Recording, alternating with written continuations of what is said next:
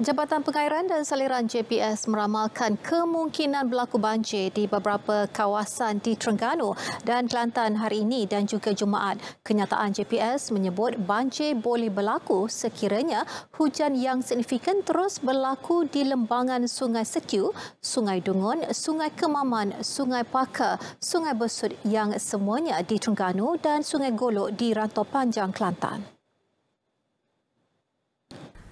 Ramalan berdasarkan makluman ramalan hujan Jabatan Meteorologi Malaysia serta hasil simulasi model ramalan banjir di Terengganu beberapa kawasan berisiko banjir hari ini iaitu daerah Setiu mulai 5 petang manakala Kampung Pemaisuri, Kampung Nyatoh dan kawasan sekitarnya mulai 8 malam.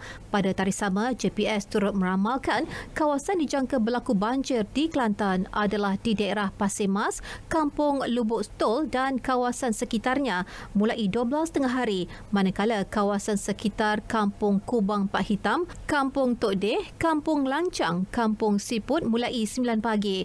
Banjir yang diramalkan boleh berlaku lebih awal atau lewat dari masa yang dijangkakan. Amaran dikeluarkan bagi membolehkan semua penduduk terutamanya di kawasan yang dijangka banjir berwaspada dan mematuhi arahan pihak berkuasa atau agensi pengurusan bencana banjir.